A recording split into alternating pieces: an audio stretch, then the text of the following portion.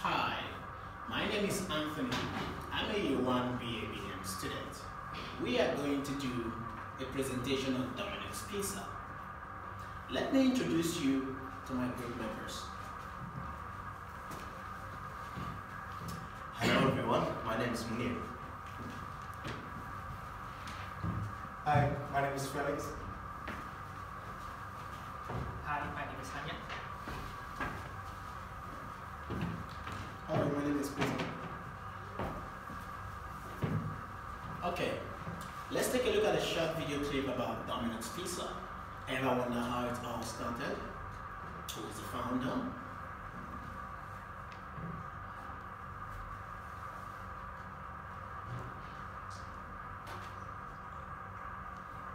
Tom Monaghan is the one behind Domino's Pizza. This is a short history about Domino's Pizza. They opened their first international store in Winnipeg, Canada in 1983, and the company reaches a record sales high of $2.8 billion system-wide in 1996. Here we're going to talk about two things here. Number one, the definition of restart, the definition, restart 2010, about employee. And number two, what is good about being an employee. Now, what Restart is trying to say here there should be a form of contract between the two parties, which is employer and employee. It means there's management and there's employee employees. So let's talk about the platform of being an employee. We have five points here. Number one is that for you to get a proper promotion is much easier as long as you're doing hard work. Getting a fixed paycheck, that amount is the same every month, which means there is stability in your income. Number three is that you don't need to have to go, you don't need to have to work every other day. You are actually paid and it's your opportunity. And number four, taxes are easier because you have certain amount being deducted by your employer on your paycheck every other day. And number five is less risk. Here we're going to talk about, let's talk about what is bad about being employee. Number one, you are, you are not in charge of your own life. Number two is that you are always under someone. You're working for someone, you work for money. You have to be in your particular job from 9 a.m. to 5 p.m. And you are also, there are forms of, form of regulation and contacts and regulatory framework, and you become in a comfort zone. Let's take a look at self-employed. Self-employed means that you are sole proprietor. You work for yourself. Ali here mentioned that if you are self-employed, you are in charge of your own boss. Now, what is good about being self-employed? Number one, you have your own freedom. Number two, the profits are there. Number three, there are more, there are much, there are no less investments. And number four, there is no need for you to worry about your mental or physical health. Because if you are not free, you don't need to go to work. And the last one is that you can be more flexible and can do cross in terms of any project or planet. Here, let's talk about what is bad about being self-employed.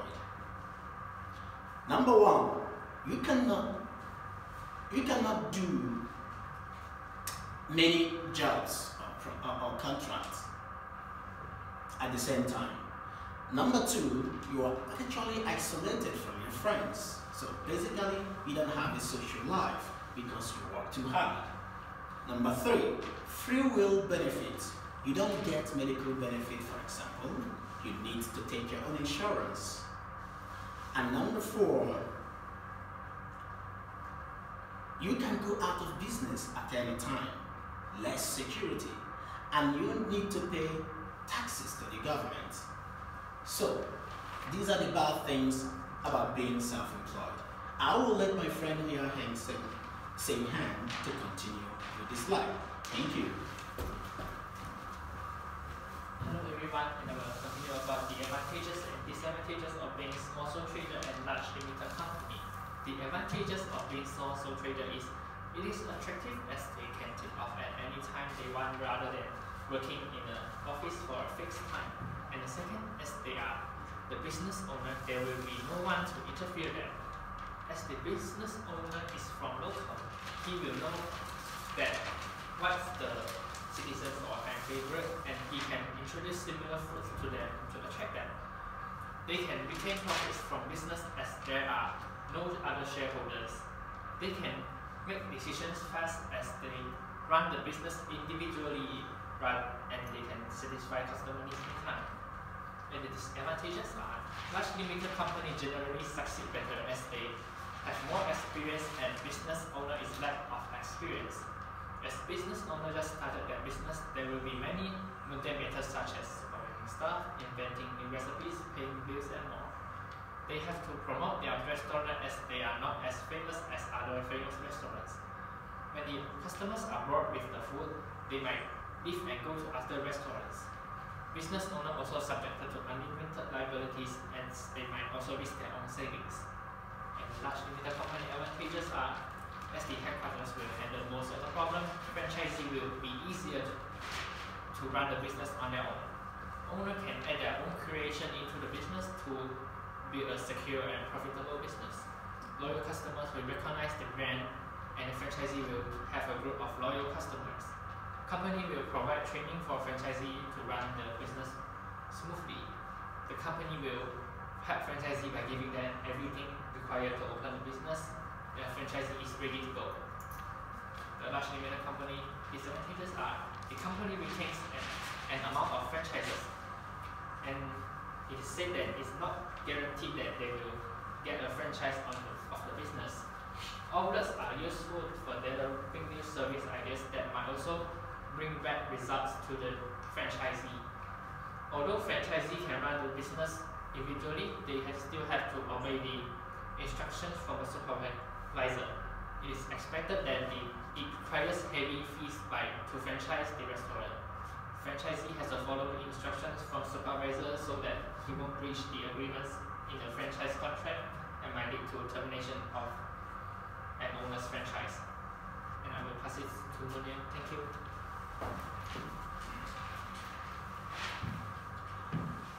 Alright, now let's take a look at what are the advantages of having a small firm. First is fast response time to your customer and client's needs and wants. Number two is ability to handle the, the questions of the client. And number three, you will be able to make your services and products more personal with your clients. Number four is your, co your costs will be lower and limited. Number five, you will be able to have a quick reaction to the changes in the market. Now, let's take a look on what might motivate entrepreneurs to join a franchise. First thing is the track record of success. As we all know, those big companies, they are already successful companies. So it doesn't take it doesn't you, you doesn't have uh, anything to do just to uh, just you have to follow their steps in order to be successful as well. Number two is strong brand strong brand. All people they they know who is domino's pizza and mcdonald's and kfc number three you will have a training program for you and your staff and in which you will learn how the business functions and works number four is you will have also an ongoing operational support. Will, as long as you belong to that franchise, you will have a full support from their management. Number four, you will also have some assistance in marketing strategies and marketing functions in order to make you sell maximum of your products. Now, I will let my friend Peter to continue with next part.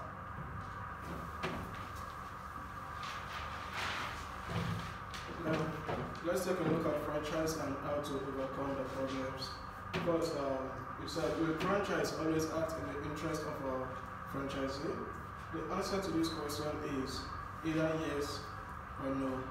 In my own view, the answer is no. Why? Because a franchise, a franchisee lacks a lot of franchisor as uh, quality, um, not enough effort and uh, practice. A franchise is an independent business person, uh, a great deal of control over their business.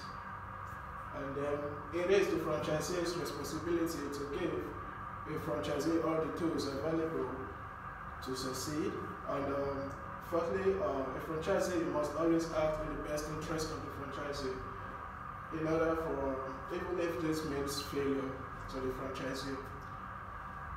How to overcome the problem? Um, firstly, you have to define the problem and deciding to engage. Secondly, you have to generate uh, the will for the joint solution. And then thirdly, acting together to implement agreements. Uh, fourthly, mapping issue and relationship.